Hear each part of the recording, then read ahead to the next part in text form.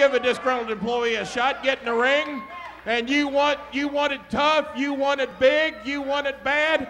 I can't think of anybody better for you tonight than Al Barone. How about it? Al Barone, the big mean Italian. We only got a few minutes left in our broadcast. Kharn Alexander demanding the match. Al Barone accepts. And what else would he do?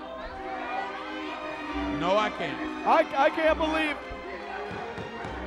Well, go give it to him, Al. Be careful what you wish Oh, for, Kharn. He's a You tough guy. You better be careful, Al Barone. You might get your butt whipped.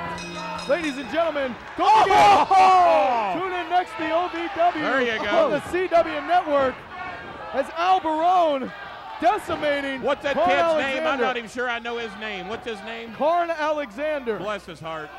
He will want a match next week. He wanted a match. And he got it. Kharn Alexander. He out with the- wanted the biggest. He wanted the baddest. He won't be able to walk here next week. and that figure four, that inverted figure four, is the disgruntled employees. Look on. Well, look at Kharn there. Alexander tapping out, submitting to Al Barone. Careful what you wish for, kid. You just might get it. Oh, oh. Five more days.